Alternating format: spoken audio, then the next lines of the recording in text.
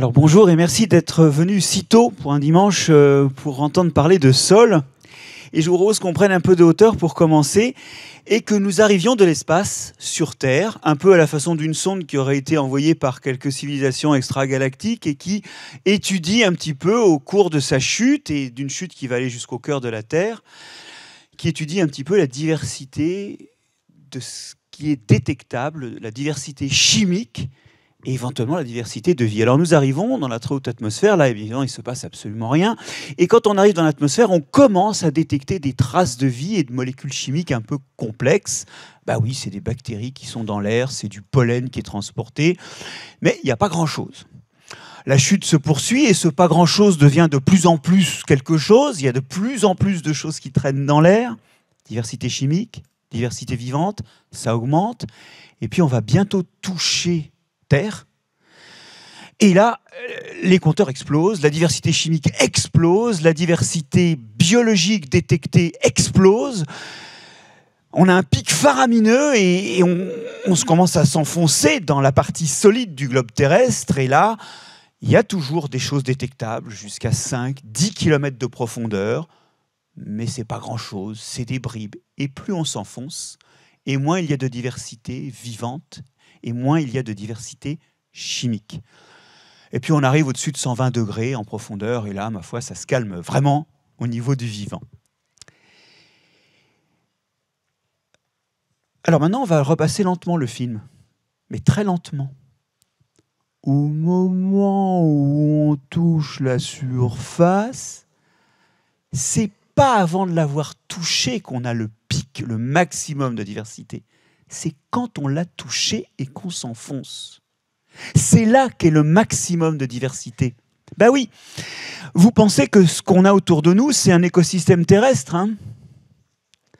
Un pou cramponné au poil, des un cheveu de son hôte, qui contemple le cuir chevelu rosâtre et craquelé de son hôte et qui dit ⁇ C'est beau quand même un homme !⁇ Il ne fait pas une autre erreur que celle que vous venez de faire en pensant que les écosystèmes terrestres, c'est ça.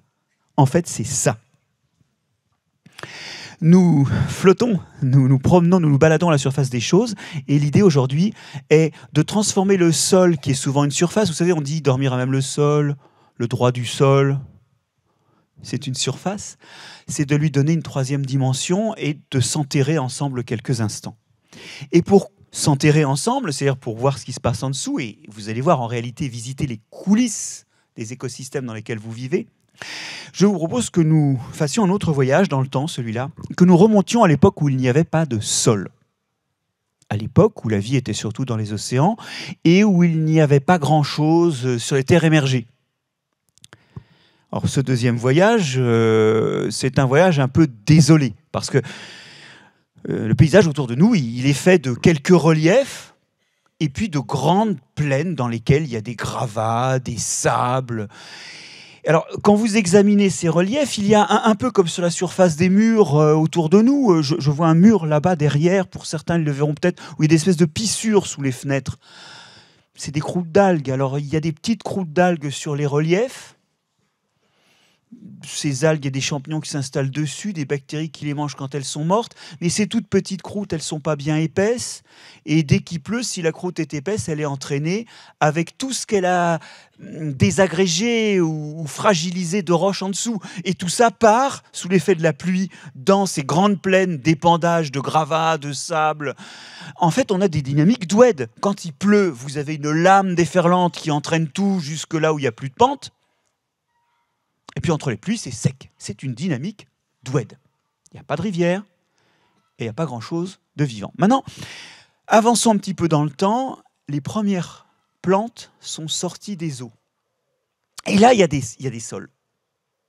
On va voir pourquoi, mais il y a déjà des sols parce que c'est retenu par les racines ou les parties souterraines de ces plantes.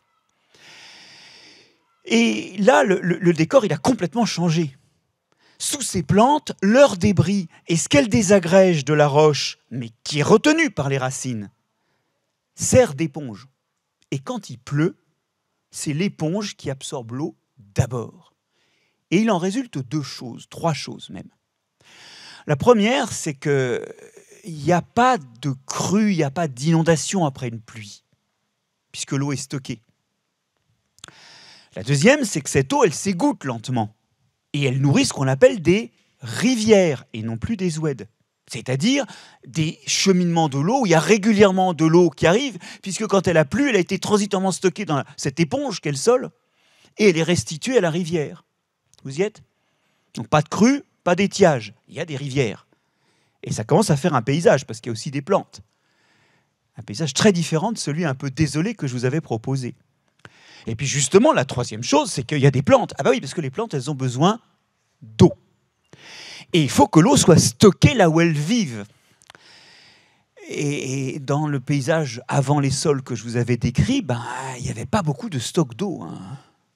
Alors en fait, il faut réaliser que les plantes ont besoin d'eau non seulement pour grandir, et parce qu'elles en contiennent, mais aussi parce que c'est l'eau qui, qui leur sert à faire monter les courses. M'explique. Vous savez que dans le sol, elles exploitent de l'azote, du phosphate, du potassium, de l'eau, enfin tout un tas de ressources minérales. Et comment ça monte dans la plante? Bah, Ça monte parce qu'il y a des colonnes d'eau microscopiques dans la plante qui s'évaporent par le haut. Ça, vous le savez, parce que euh, dans les étés chauds qu'on a eus, vous, préférez être sous un arbre qu'en plein soleil. Et c'est pas qu'une histoire d'ombre, il fait vraiment plus frais. D'ailleurs, vous le savez aussi, parce que quand vous vous asseyez pour pique-niquer dans l'herbe, bah, après, vous avez les fesses un peu humides. Ne me dites pas que ça vous est jamais arrivé, ça. Ben, c'est parce qu'en fait, les plantes évaporent. Ça elles consomment l'énergie solaire, elles ne le consomment pas que pour la photosynthèse, vous voyez, elles le consomment aussi pour évaporer de l'eau. Et cette évaporation de l'eau tire sur ces mini colonnes d'eau et fait monter dans les parties aériennes tout ce qui a été exploité dans le sol. Donc la plante, elle a régulièrement besoin d'eau parce qu'il y a un flux d'eau qui la traverse et qui emmène ce qui a été prélevé dans le sol vers les parties aériennes. Et ça, c'est énorme.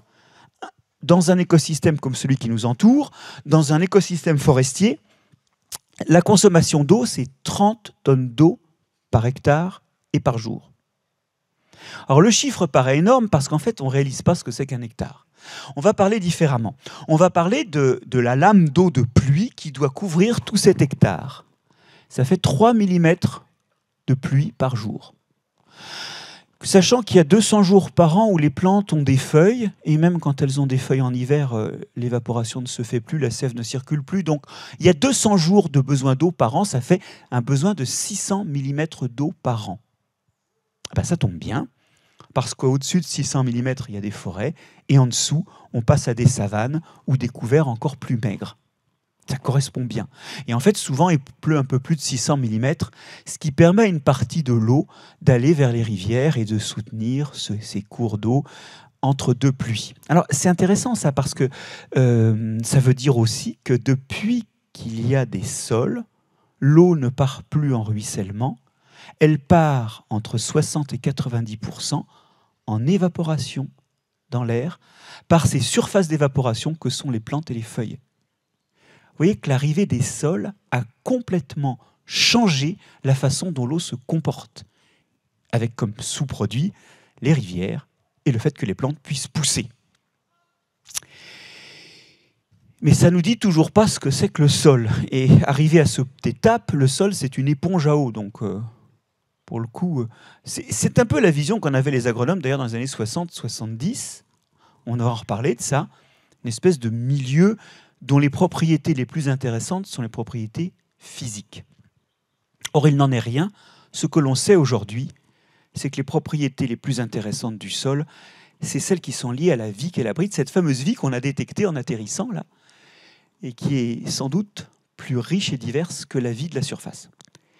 Et donc maintenant, j'aimerais quelques instants regarder ce qui compose le sol, et dans cette analyse, vous montrer le vivant, l'inerte, et comment en fait l'inerte est rendu actif par le vivant que j'aurais décrit d'abord? Allons-y. Le sol, c'est la vie dans les écosystèmes terrestres. Il y a dans le sol 25% des espèces connues. Et je vais vous parler de microbes. Vous garderez en tête que parmi les microbes, en fait, on sait qu'on n'en connaît que 1%. Donc, déjà, quantitativement, il y a du monde. Qui est ce monde? Alors, si je vous demande qu'est-ce qui est vivant dans le sol, vous me répondrez sans doute tout de suite vers de terre. oubliez les vers de terre. Pour mieux y revenir d'ailleurs. Ce qui est vivant dans le sol, et c'est un des problèmes du sol, c'est surtout des microbes, c'est-à-dire des choses qu'on ne voit pas à l'œil nu. Alors c'est problématique parce que du coup, ça veut dire que même si le sol était transparent, ben, on ne verrait pas exactement ce dont il est fait, et puis en plus de toute façon, il n'est pas transparent. Et c'est là que commence le malentendu. Pas transparent et formé de choses trop petites pour que l'œil les éprouve, eh bien le, sol nous est inconnu et nous est assez peu intuitif. Bon, alors j'ai commencé par les microbes. Les microbes, c'est ce qui n'est pas visible à l'œil nu, et avant tout, il y a des champignons. Les champignons, vous allez me dire, mais moi je ramasse des cèpes ou des girolles, euh, ou j'ai pelé des champignons de Paris avant-hier soir, c'était pas invisible à l'œil nu. Oui, mais attendez. Le malentendu, c'est que cette partie-là, c'est la partie reproductrice. C'est comme la pomme sur le pommier. La pomme contient des graines. Eh bien, la partie que vous avez pelée hier soir euh, pour faire votre euh, civet de lapin ou girole, c'est l'organe reproducteur aussi. Ça produit une fine poussière de spores qui sont des cellules qui peuvent germer. Et quand elles germent, elles donnent ce qu'est le champignon au jour le jour, un réseau microscopique de filaments connectés entre eux qui mesurent un centième de millimètre de diamètre. Donc, en fait, c'est un microbe au jour le jour. Et ça explique, par parenthèse, que les champignons, ce que nous on appelle les champignons et qui n'en sont que l'organe reproducteur, poussent si vite à l'automne. Parce que c'est appuyé sur quelque chose qui couvre un réseau microscopique qui couvre plusieurs mètres carrés et qui est capable d'envoyer de l'eau et des ressources pour une croissance rapide de, de ce qui n'est que l'organe reproducteur. Donc, au jour le jour, le champignon est un microbe, c'est un réseau de filaments souterrains. Plus petit, ah oui, parce qu'il y a plusieurs façons d'être des microbes, hein. il y a plusieurs façons d'être petits. Plus petit d'un facteur 10, donc un centième de millimètre, on arrive chez les bactéries, qui sont des cellules isolées ou en file indienne. Euh, les bactéries sont très abondantes dans le sol. Et d'ailleurs, elles donnent au sol une caractéristique majeure qui est son odeur. L'odeur de sol, c'est l'odeur d'humus, l'odeur de terre, que Colette décrit si bien, qui est quelque chose qui hésite entre, nous dit-elle, la vanille, la noisette et les souvenirs de l'enfance. Cette odeur de terre, hein, euh, bah, c'est l'odeur de bactéries, notamment de petites bactéries qui, sont, qui ont des filaments en chaînette, que vous connaissez bien en fait sans les connaître, puisque vous connaissez leur, leur odeur, c'est la géosmine. Cette odeur euh, que produisent ces bactéries, on ne sait absolument pas à quoi ça leur sert, mais néanmoins, c'est bien la trace de leur présence. Et cette euh, géosmine, vous la connaissez d'autant plus que quand il a plu, l'eau remplit les pores du sol et fait s'exhaler cette géosmine et diluée, elle contribue à l'odeur très particulière qui règne après la pluie. L'odeur d'après la pluie, c'est l'odeur du sol dilué, mais en fait, c'est l'odeur des bactéries du sol diluées. Je termine sur ces actinobactéries qui donnent la géosmine et son odeur au sol, en vous indiquant que vous les connaissez très bien, en fait, encore mieux, parce qu'elles sont productrices d'antibiotiques, et certains d'entre eux, la streptomycine ou l'actinomycine, peuplent vos pharmacies. Voilà des choses qui aident votre santé et dont vous connaissez l'odeur, vous avez un lien donc assez intime avec, et dont éventuellement vous ne connaissez pas le nom alors qu'elles sont dans vos vies, les actinobactéries. Bref, il y a des bactéries dans le sol. Et puis plus petits encore, alors tellement petits qu'ils n'ont plus aucune possibilité d'avoir une vie autonome parce qu'ils sont trop petits pour que la cellule, pour que ce qui les compose, qui n'est même pas une cellule, puisse remplir les fonctions du vivant, il y a les virus. Et là, je n'ai absolument rien à vous dire sur les virus du sol à part qu'ils sont dix fois plus petits que les bactéries et qui sont sans doute 10 à 1 million de fois plus nombreux, parce qu'on n'en sait rien. On connaît quelques anecdotes, mais on n'a absolument pas d'image générale à vous proposer. Tout ça, c'est les microbes. Et des microbes ainsi, il y en va de 5 tonnes à l'hectare dans un sol comme celui qui nous entoure. 5 tonnes à l'hectare.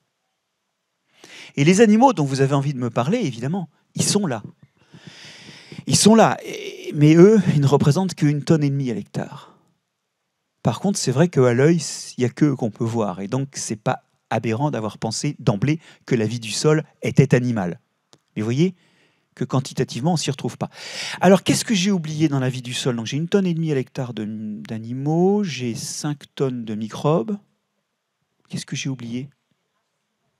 Eh oui, les racines. Souvenez-vous qu'un tiers de la plante est sous terre.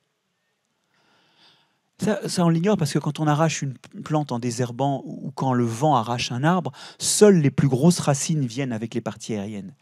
Les plus petites, les racines fines, qui sont les plus abondantes, qui peuvent représenter 70 à 80% de la masse racinaire, elles, elles restent dans le sol.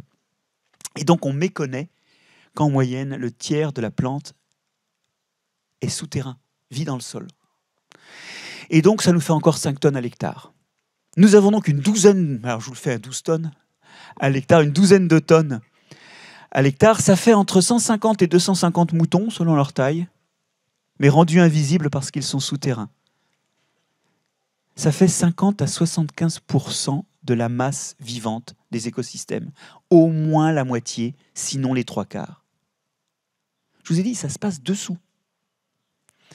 Et d'ailleurs, pour terminer sur ces sols, quantitativement, si euh, vous vous représentez maintenant l'ensemble de la matière organique morte,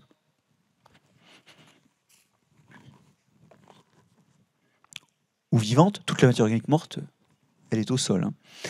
Eh bien, c'est 60 euh, à 90% de la biomasse et de la diversité moléculaire du vivant, mort ou vif, qui se trouve dans les sols. Donc ça, c'est la première chose. Les sols sont puissamment habités. Mais ce que je viens de vous décrire, c'est moins de 0,1% de la masse du sol. Vous allez voir, c'est très important, c'est très divers biologiquement, mais c'est rien en quantité. En quantité, le sol, c'est surtout de la matière organique morte et de la matière minérale. Et, et puis un petit peu des trous dans lesquels il y a de l'air, voire quand il a plu, de l'eau. Et je voudrais maintenant vous raconter un peu cette matière organique et ces petits morceaux de pierre, ces petits morceaux de roche, et vous raconter comment en fait, bah, ils sont le jouet de cette vie que je viens d'implanter dans le sol. On va commencer par la matière organique, d'accord?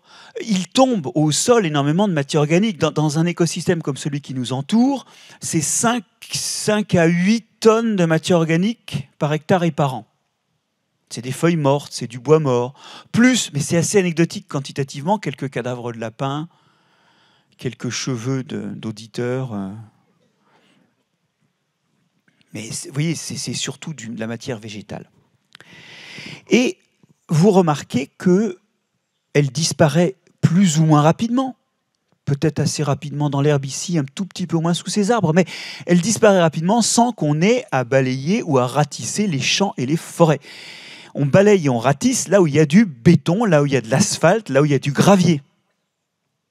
Et heureusement d'ailleurs, parce que le budget de l'ONF euh, ne permettrait pas vraiment de ratisser toutes les forêts. Quelle est la différence entre une surface artificialisée et un champ ou une forêt? Ben, C'est le sol. Le sol est un digesteur. Il va petit à petit, rapidement, ou plus lentement, ou très lentement dans des tourbières, mais il va petit à petit digérer cette matière organique. Ça veut dire qu'il y a des organismes, et surtout en fait des microbes, qui vont s'y attaquer. Mes bactéries, mes champignons, une partie d'entre eux, tous ne vivent pas comme ça, mais une partie d'entre eux dévorent ça, sauf qu'ils le dévorent lentement, d'abord parce que ce n'est pas très digeste, et deuxièmement parce qu'en plus, bah, dans le sol, il n'y a pas beaucoup d'oxygène, et ils ont souvent besoin d'oxygène pour respirer. Donc, cette matière organique, elle est en transit, plus ou moins long, mais elle va petit à petit se faire dévorer. Qu'est-ce que ça veut dire se faire dévorer? Réfléchissons un instant sur ce que devient la matière qu'un organisme comme vous ou moi, ou une bactérie du sol, prend dans son milieu. À quoi vous sert le petit déjeuner, par exemple, que vous avez absorbé ce matin avant de venir? Le croissant, il va où? Qu'est-ce qui devient votre croissant?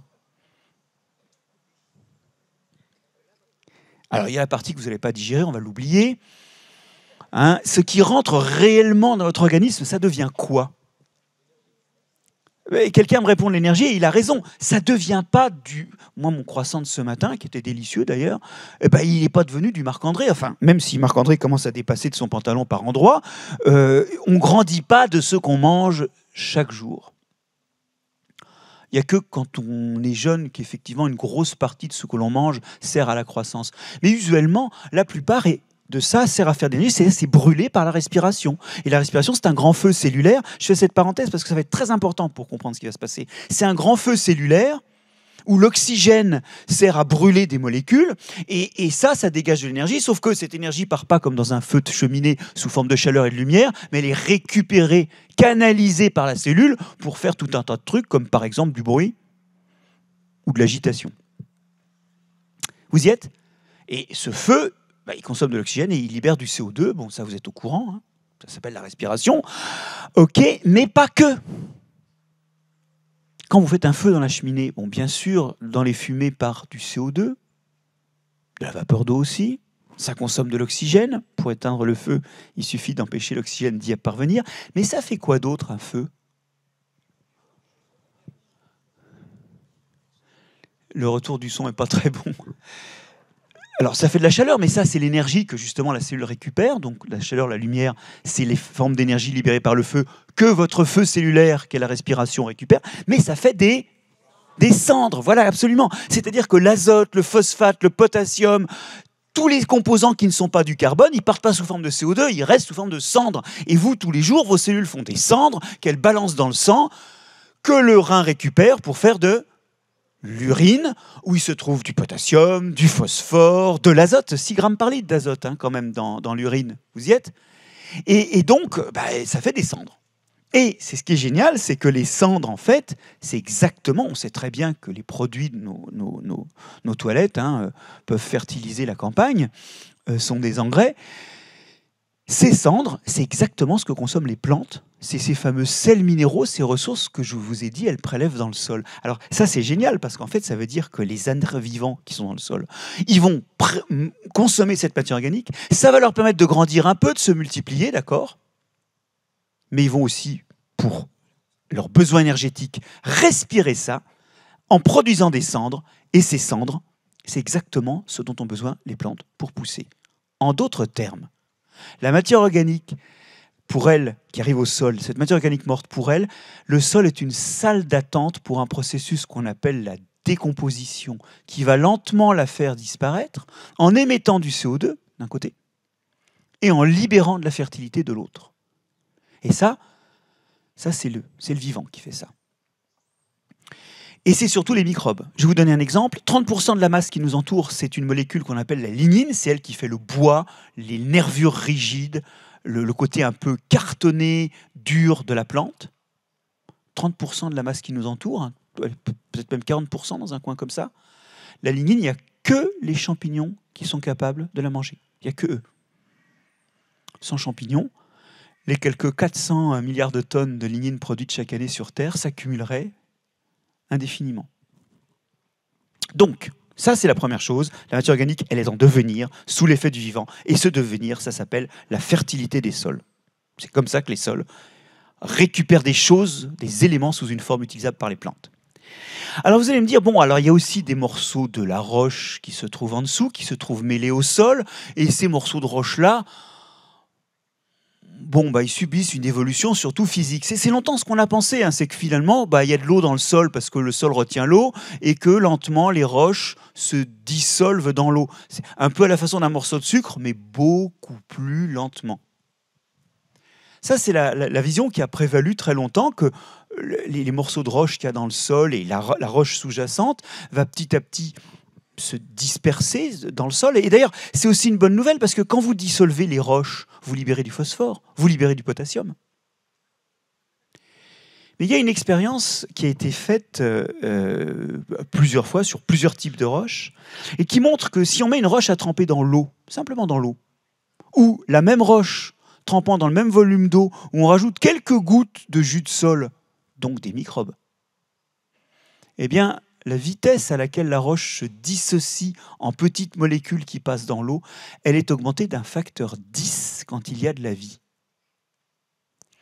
Et ça, ça veut dire qu'il y a une partie des microbes dont la façon de vivre, c'est d'aller se plaquer contre la roche, et là, de la dissocier et de libérer tout ce qu'elle contient. Alors, le but, c'est pas juste, oui, c'est pas du saccage, hein. c'est que dans ce que ça libère, il y a du phosphate il y a du potassium, il y a du calcium, du magnésium, du fer, du brome, du bore, du manganèse, tout un tas de choses dont on a besoin en plus ou moins grande quantité. Et en fait, c'est des mineurs, quoi. C'est des organismes qui vont pourvoir leurs besoins en déstabilisant la roche. Et comme ils travaillent comme des cochons, Bah parce qu'en gros, qu'est-ce qu'ils font? Ils se plaquent sur la roche, donc ça retient l'humidité, et ils émettent localement de l'acidité qui permet de dégrader la roche.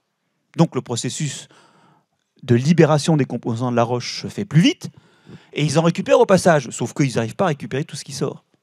Et il y a des fuites.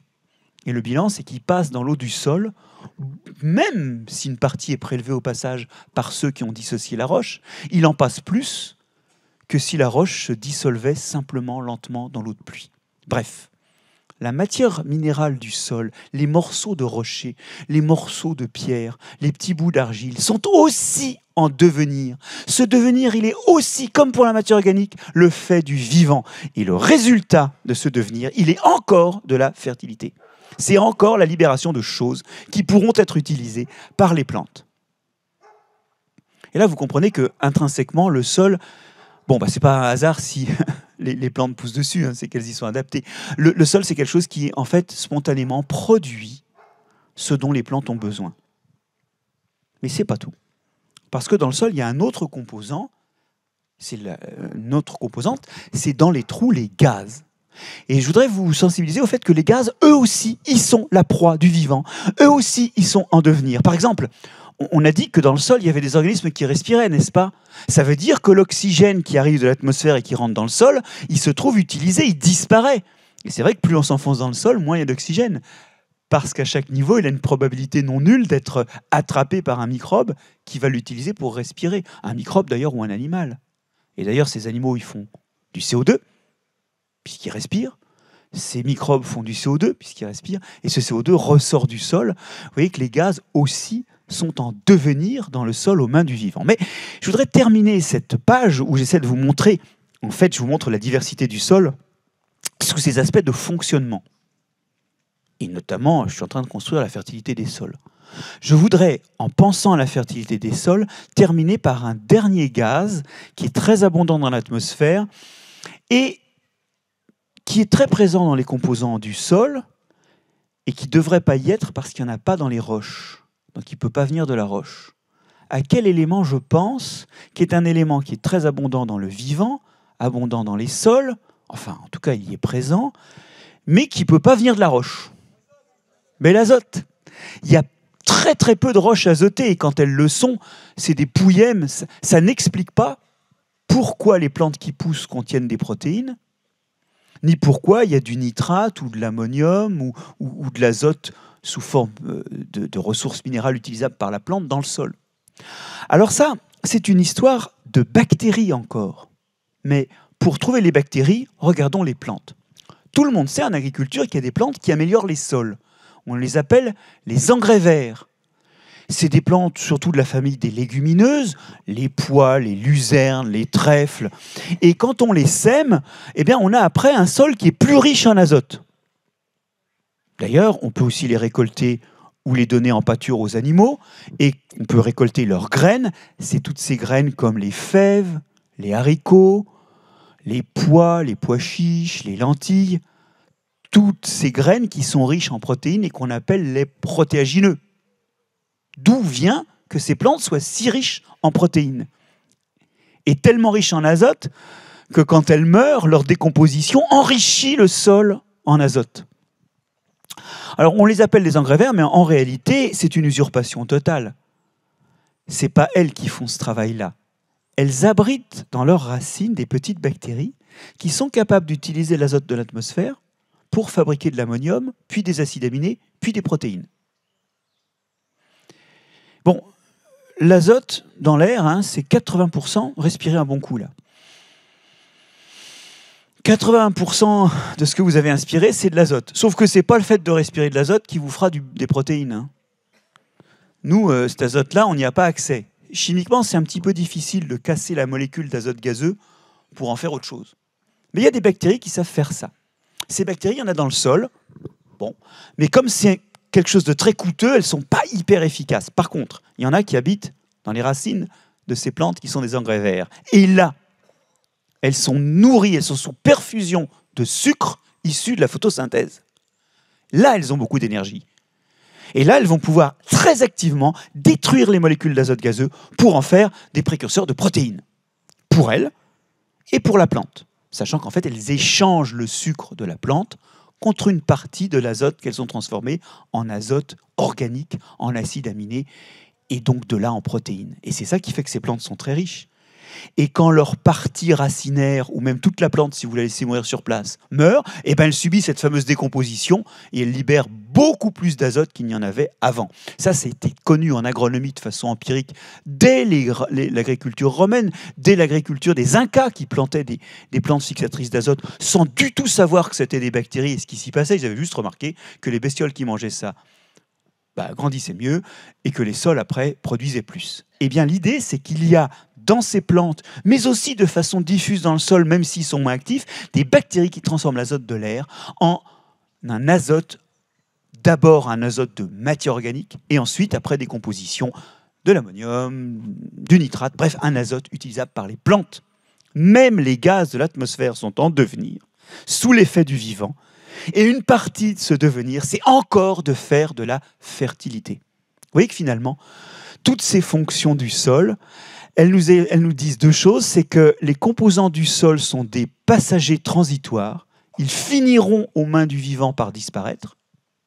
Bon, il en revient au fur et à mesure, que ce soit des morceaux de roche, des morceaux de feuilles mortes ou des, gaz. Et d'autre part, l'un des devenirs, l'un des produits ultimes de leur déstabilisation, c'est de faire de la fertilité. Alors là, c'est bon, hein, on a de l'eau, on a des sels minéraux, les plantes peuvent pousser, c'est réglé. Il y a une dernière chose qu'il faut faire, c'est bien touiller tout ça. Pourquoi il faut touiller? Bah Parce que ce que libère la déstabilisation de la roche, ce que libère la dégradation de la matière organique, c'est pas exactement la matière organique, c'est plutôt en surface qu'elle arrive. C'est pas exactement les mêmes choses et on a besoin des deux. Donc euh, ce serait bien que les deux soient mélangés. Et d'ailleurs, si vous observez le sol sous vos pieds, vous, verrez, alors évidemment c'est très piétiné ici, mais regardez un instant le sol sous vos pieds. Vous verrez que on a bien du mal à discerner la fraction organique, qui fait que c'est un peu foncé, de la fraction minérale. C'est une espèce de bouillie assez homogène, n'est-ce pas? Alors c'est là que les vers de terre vont intervenir parce que avant que ce soit piétiné comme tout, là ça c'était un, beau sol à vers de terre. Bon là entre la sécheresse et euh, l'activité festivalière, les vers de terre ont pris des vacances en profondeur, je pense. Oh, bon. Dites donc qu'il y a une deuxième raison hein, de faire des trous, des mélanges, hein. c'est qu'il y a un truc qu'on n'a pas créé, c'est les trous. Vous réalisez que jusqu'ici on n'a pas fait de trous. On a dit oui, il y a des trous, il y a des gaz et puis de l'eau qui est retenue viennent d'où les trous? Alors, c'est ici qu'on va ouvrir la page du grand touillage du sol. Du grand touillage parce que le sol, il est brassé, il est pris de mouvement. Alors, ça nous étonne parce que pour nous, le sol, c'est cet immuable euh, qui est l'endroit où s'enracinent les plantes, qui est l'endroit où on met les fondations de nos maisons. Mais le sol, il bouge. Il bouge et je voudrais euh, vous en donner deux exemples. Le premier, c'est l'exemple des vers de terre. Les vers de terre, comme tous les animaux du sol, quand ils se déplacent, ils, écartent les composants du sol, ils les bousculent, et ça déjà c'est un mélange. J'ai une taupe qui fait un trou, une fourmi qui creuse une fourmilière, vous y êtes Ça mélange un peu. Mais les vers de terre, ils font encore mieux, c'est qu'eux, ils font un mélange qui est un mélange très délicat. Ils mélangent en mangeant. Ils mangent, qu'est-ce qu'ils mangent, les vers de terre? On dit souvent ils mangent de la matière organique. C'est plus compliqué. Ils mangent de la matière organique morte, comme des restes de feuilles mortes ou des choses comme ça, parce qu'ils vont digérer les microbes qu'il y a dessus. Pour ça, c'est surtout ça qui va être digeste pour eux. Et pour ça, il va falloir qu'ils les broient bien. Et comme ils sont tout mous, ben, ils font comme les poules avec des petites pierres qu'elles mettent dans leur jabot pour broyer les aliments. Eux, ils mangent des grains de sable qui vont leur permettre de broyer bien ces aliments et d'extraire le jus de microbes, qui est ce qui est le plus nourrissant dans cette matière. Et comme ils ne digèrent pas tout, on va retrouver de la matière organique dans les, dans les excréments. Bon, le problème, c'est que quand ils broient, ils relâchent aussi toutes les toxines des végétaux. Vous savez que les végétaux sont souvent toxiques ou pas très digestes. Ils contiennent des tanins, des terpènes, des tas de saletés. Et ben, les végétaux morts aussi. Et euh, pour le coup, bien broyer, c'est relâcher toute la toxicité. Qu'à cela ne tienne, ils font comme vous, quand vous avez un problème dans le tube digestif, Ils prennent de l'argile. Vous prenez du smecta, vous Eh bien, ils prennent de l'argile qui absorbe les toxines. Et aussi les virus, d'ailleurs. Donc, euh, ils vont manger 20 fois leur poids par jour parce qu'en fait, pour un peu de matière organique, ils sont obligés de manger plein de caillasse et plein d'argile. Évidemment, l'argile va retenir toutes les toxines et dans les crottes, vous allez retrouver un peu de matière organique, ce qu'ils n'ont pas digéré. D'accord? De l'argile et puis quelques grains de sable. Et vos vers de terre, ils passent leur temps à aller manger de la matière organique, euh, absorber de la matière minérale et à venir faire leur turicule, puisqu'on appelle ça comme ça, en surface. Ils prennent en profondeur et ils remontent bien mélangés en surface. C'est un, mouvement incroyable de brassage. Alors, euh, pour euh, le quantifier, tout le sol que vous avez sous les pieds, là, en trois ans, il est passé dans le tube digestif des vers de terre du coin. Tous les trois ans, ils ont mangé au moins une fois chaque parcelle de ce sol. Et non seulement ça, mais en plus, euh, en fait, c'est d'autant plus vrai que ils vont rapidement remanger leurs crottes. Bah oui, dans les crottes, il reste de la matière organique, mais elle est broyée il y a plein de microbes qui s'installent puisque viande est déjà découpée, l'alimentation est déjà découpée en morceaux. Donc ça, c'est un, nid à microbes qui vont se développer dans les crottes. Il y a déjà de l'argile. Ben oui, ils avaient pris de l'argile. Et il y a déjà des grains de sable. Une crotte de ver de terre, après quelques jours de pluie où des microbes se sont développés dedans, c'est l'aliment idéal du ver de terre. En fait, le, ver de terre passe le temps à manger et remanger ses crottes. Et ce qu'on appelle les crottes de ver de terre, dans des sols comme celui sur lequel on est, ben, c'est le sol. C'est un tas de crottes de verre de terre. Retriturer, remélanger, rebrasser. Et vous avez ici un mélange extrêmement intime qui s'opère et des brassages qui font que bah, toute la fertilité qui est produite, elle n'est pas entraînée par la pluie en profondeur, elle est constamment redistribuée, renvoyée vers la surface. Mais ne vous leurrez pas, il n'y a pas besoin de verre de terre pour faire ça. Vous pouvez le faire moins efficacement, mais certainement sans verre de terre. D'ailleurs, en Amérique du Nord, par exemple, il n'y a pas de verre de terre.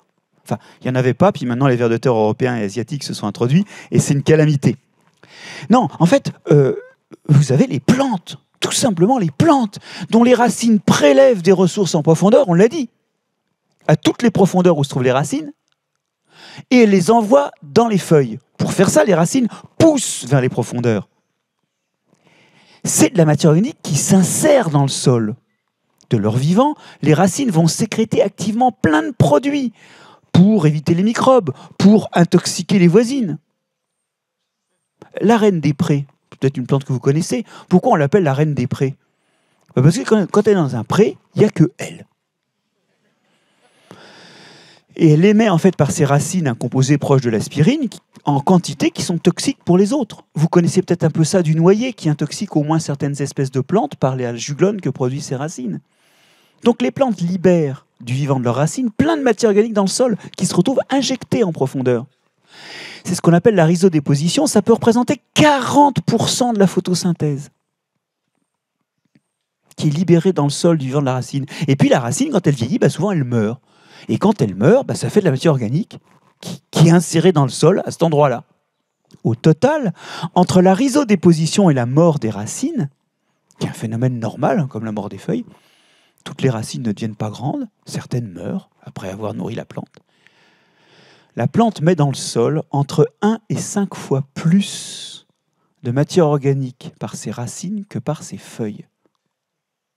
Ça veut dire que toutes les feuilles mortes que vous voyez là, c'est entre 1 et 5 fois l'équivalent de ce que la plante injecte en profondeur comme matière organique dans le sol.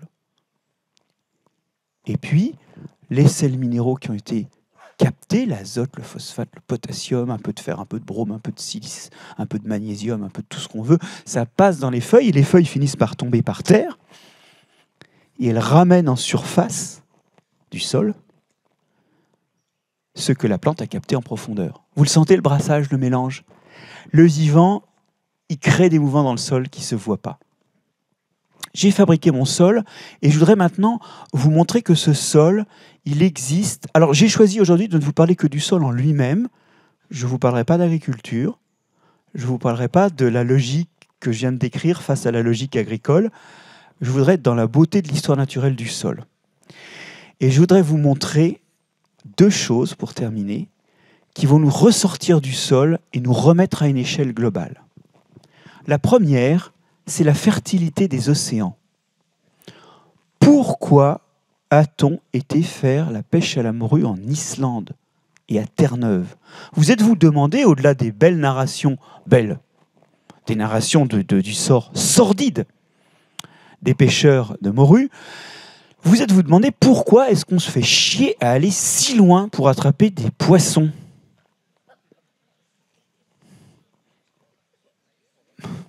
Bah parce qu'il n'y en a pas ailleurs, sans doute. En fait, l'idée, c'est que le poisson, il y en a le long des littoraux. Si vous faites 150 km pour aller en mer, il y a, encore un peu de poisson, mais très très peu.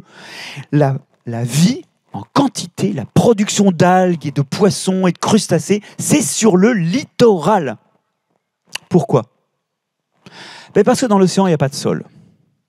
Quand il y a un cadavre de baleine, un cadavre de petite algue unicellulaire, un cadavre de mini-crevette qui contient du phosphore, du fer, du soufre, du potassium, du magnésium, etc. Qu'est-ce qui se passe quand il meurt Il sombre. Il sombre, il sombre, et il arrive par 4 ou 5 000 mètres de fond, où là, éventuellement, les produits en question seront libérés, mais loin de la lumière. Et oui, or, pour que ça reparte en photosynthèse, il faut que ce soit libéré à la lumière. Donc l'océan pardon est une machine à s'appauvrir. En revanche, sur le littoral arrivent les rivières et les rivières sont faites d'eau que le sol leur a cédée. Et cette eau du sol a entraîné une partie de la fertilité que nous avons libérée ensemble à partir de la matière organique, à partir des gaz du sol ou à partir de la pierre. Vous y êtes? Vous voyez ce grand mouvement qui font qu'en fait, ces rivières qui arrivent à l'océan sont des larmes de sol. Des larmes chargées de minéraux du sol qui fertilisent la bande côtière. Et qui font que le Brexit est une catastrophe. En plus que d'être une forfaiture intellectuelle, une forfaiture politique, un déni de démocratie et tout le reste, le Brexit, c'est surtout que ces satanés britanniques sont partis avec les eaux côtières de Grande-Bretagne, dans lesquelles arrivent les sédiments du Rhin dans lesquelles arrive la fertilité de la Meuse. Vous y êtes? Et du coup, les pêcheurs bretons, bah, ils ne sont pas très contents parce qu'en fait, ils préfèrent faire 50 bornes pour aller pêcher le long des côtes britanniques que de faire 50 bornes pour aller pêcher au milieu de l'Atlantique. Vous y êtes? C'est ça ce problème lié à la pêche. C'est qu'en fait, bah, c'est les eaux les plus fertiles que, euh, les Britanniques ont emportées. Enfin, c'est parmi les eaux les, plus fertiles. Alors vous me direz, bon, évidemment, c'est pas comme si la Grande-Bretagne était entre l'Irlande et la France. Hein. C'est logique qu'il soit parti, mais c'est quand même dommage. Alors, non, plus sérieusement, vous voyez que quelque part, la fertilité des océans, c'est aussi une histoire de sol. Elle est préparée dans les sols, et elle était beaucoup moins préparée quand il n'y avait pas de sol. Et il y avait beaucoup moins de vie dans les océans. Les poissons étaient plus petits, il y avait moins d'algues, il n'y avait pas autant à pêcher. Bien. Alors, euh, ça veut dire aussi que quand vous avez un plat devant vous, tous les composants de ce plat doivent au sol. Bien sûr, la, salade, euh, la tomate, le verre de vin, le morceau de pain, c'est évident que ça vient du sol. Le, morceau, le, filet de bœuf, bon, c'est peut-être moins évident, mais quand même, il sort du sol quelque part. Hein. Par bœuf interposé, c'est des restes de plantes. Hein. Euh, mais si vous avez des, coquilles Saint-Jacques euh, ou, ou un filet de sol, très indirectement cette fois-ci, mais néanmoins réellement, il sort aussi du sol. Vous voyez que ça fait la fertilité de l'océan, ça fait l'alimentation de l'humanité en tout point. Je dis souvent que le sol est le placenta de l'humanité. C'est par là qu'arrive la nourriture. Et la dernière chose dont je voudrais vous parler, c'est le climat. Le sol fait partie de ce qui a de tout temps fait de l'effet de serre. Il produit du CO2, je vous l'ai dit. Et l'effet de serre est une bénédiction sur Terre. Suivez-moi bien. Sans effet de serre, il ferait moins 18 degrés l'ensemble des eaux prendrait en glace, et l'effet de réflexion par la blancheur de la glace de la lumière solaire ferait ensuite chuter en cascade la température à moins 50 degrés. L'effet de serre est ce qui fait une Terre vivable pour une espèce comme la nôtre. Après, vous savez, la température, hein, c'est question de réglage, et 1 ou 2 degrés, ça peut vraiment devenir désagréable. C'est ce qui est en train de se passer. Mais en tout temps, le sol a fait partie de ce qui a produit de l'effet de serre. Il le fait aussi parce que des fois le sol il est inondé, il contient beaucoup d'eau. Et dans ces cas-là, il y a des respirations complètement bizarres qui qui se perdent. Comme il n'y a plus d'oxygène, il y a des bactéries qui respirent en utilisant le CO2 à la place de l'oxygène. Oui, je vous dis, dans le sol, il se passe des choses assez étranges qu'on n'a pas en surface. Il y a une diversité de modes de vie assez incroyable. Ces bactéries-là font du méthane, qui a un rôle dans l'effet de serre. D'autres bactéries, dans les sols inondés où il n'y a pas d'oxygène, utilisent le nitrate. Et elles font ce qu'on appelle le protoxyde d'azote, qui est aussi un gaz à effet de serre. Le méthane est 50 fois plus efficace que le CO2, le protoxyde d'azote 240 fois plus efficace que le CO2. Mais en même temps, le sol, il stocke énormément de matière organique puisqu'elle elle se décompose lentement parce qu'il n'y a pas tant d'oxygène que ça. Et cette matière organique qui est dans le sol, c'est autant de CO2 qui n'est pas dans l'air. Et d'ailleurs, demain, dans nos sols agricoles, où le labour a bien aéré et aidé à la respiration, dans nos sols agricoles qui manquent beaucoup de matière organique, ce qui pose plein de problèmes de réserve en eau, de structure, de sensibilité à l'érosion, si on mettait enfin nos déchets organiques, nos poubelles dans le sol, plutôt que de les brûler, le contenu de nos toilettes dans le sol plutôt que de le mettre dans des stations d'épuration, bah non seulement cette matière organique, ce serait une partie de la fertilité dont on a besoin dans les écosystèmes agricoles, mais le temps que cette matière se décompose, le temps qu'elle disparaisse, ça pourrait stocker du carbone. Si on augmentait la teneur en matière organique de tous les sols du monde de 0,4% tous les ans, on annulerait la croissance du taux de CO2 dans l'atmosphère on compenserait les émissions de CO2 par l'homme. Alors, ce n'est pas faisable partout, mais ça fixe les idées. Il y a là un, formidable outil pour résoudre cet effet de serre que nous avons déjà mis en place. Et ce n'est pas une raison pour continuer, mais c'est une perspective importante. Le sol fait aussi le climat. Il a fait les paysages avec les plantes, avec les rivières. Il a, fait, il a construit la fertilité de l'océan. Il a fait le climat, il fait notre alimentation, en réalité, il est bel et bien l'origine du monde. Non pas que le monde n'ait pas existé avant les sols, mais le monde que nous connaissons et le monde qui nous est vivable, nous le devons aux sols. Ils sont réellement l'origine de notre monde. Et c'est ça que je voulais vous raconter ce matin.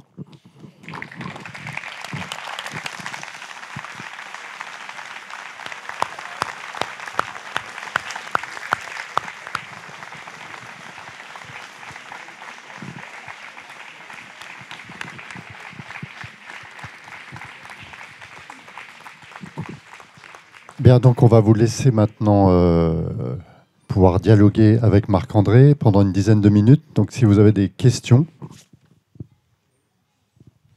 Il y a déjà quelqu'un? Euh, Alors, Marc-André, ce que je te propose, comme il y a beaucoup de mains qui se lèvent, c'est peut-être qu'on prenne trois questions déjà groupées.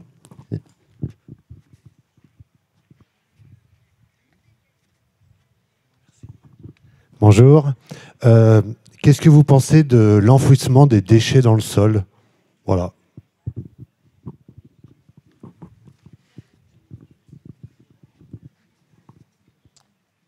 Euh, il y avait une main qui s'est levée là. Monsieur. Oui, merci.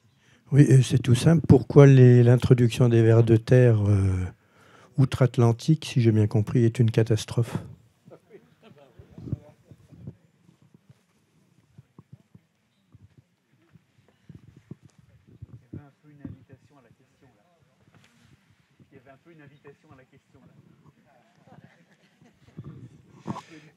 Une question concernant l'incinération ou l'humilisation. Euh, que, quel est le bon qualitatif pour le sol? Est-ce que c'est mieux de se faire brûler ou de se faire enfouir dans le sol?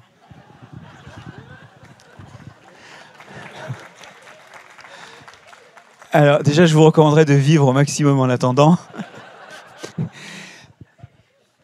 Alors, euh, mes vers de terre, c'est très simple. L'idée, c'est que les plantes sont adaptées à l'environnement dans lequel leurs ancêtres ont vécu, ce qui a permis à ces ancêtres de survivre et de donner des descendants.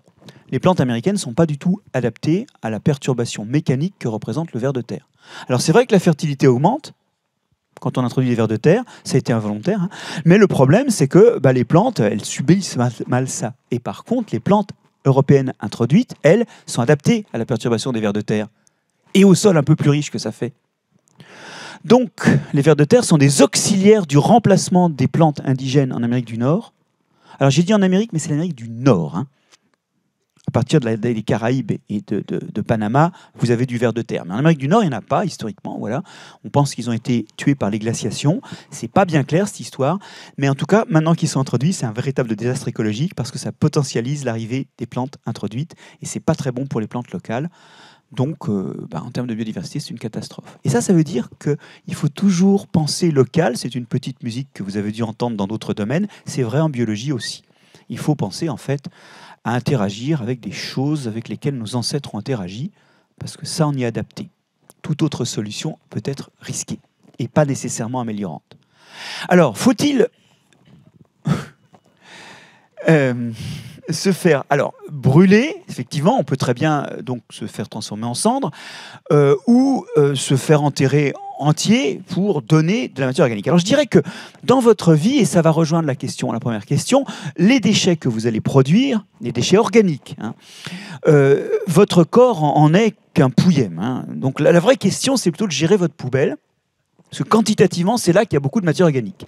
La deuxième chose, c'est qu'il faut que vous compreniez que vous êtes pourri de molécules bizarres. À la fois des résidus de tous les traitements que vous aurez subis, y compris éventuellement celui qu'on vous aura injecté post-mortem pour que votre corps se décompose pas trop en attendant que votre famille soit libre pour votre enterrement. En Allemagne, il y a des gros problèmes de décomposition des corps et quand on, au bout de 30 ans, on veut faire des réductions, comme on dit, hein, c'est-à-dire remettre les os dans une petite boîte, ben on s'aperçoit que rien n'est décomposé et qu'on ne peut pas faire de réduction de corps. Donc, et puis vous êtes aussi riche en métaux lourds. Parce que maintenant, quand on mange du poisson, ben, on accumule des métaux lourds. Comme on en a mis partout, il y en a dans les poissons, notamment. Et euh, donc, votre matière organique, c'est peut-être pas celle dont le sol a vraiment besoin. Et ça fait que, notamment, les cendres, euh, parce qu'il y a aussi l'option de mettre les cendres. Après tout, dans les cendres, il y a des éléments nutritifs. La, question n'est pas si aberrante, hein. mais euh, vos cendres sont riches en métaux lourds. Et donc, c'est pas, c'est même plus l'engrais idéal. Voilà. Mais je sais qu'il y a un grand mouvement qui veut rendre son corps au cycle de la nature, et je trouve que c'est joli. Mais je ne suis pas sûr que nos corps soient ce qu'on peut mettre de meilleur dans les sols.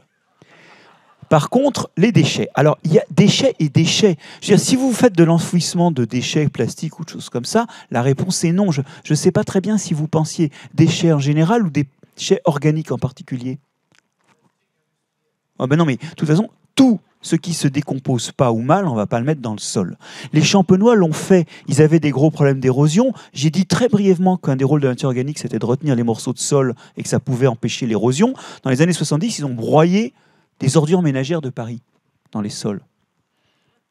Et donc maintenant, les sols champenois, allez les voir. Les sols du vignoble champenois sont pleins de morceaux de plastique pour toujours, qui vont se fragmenter, se fragmenter, et d'ailleurs, les plus petits fragments finissent par être des molécules élémentaires qui peuvent passer dans l'eau, qui peuvent passer dans l'air, et dont une partie sont ce qu'on appelle des perturbateurs endocriniens.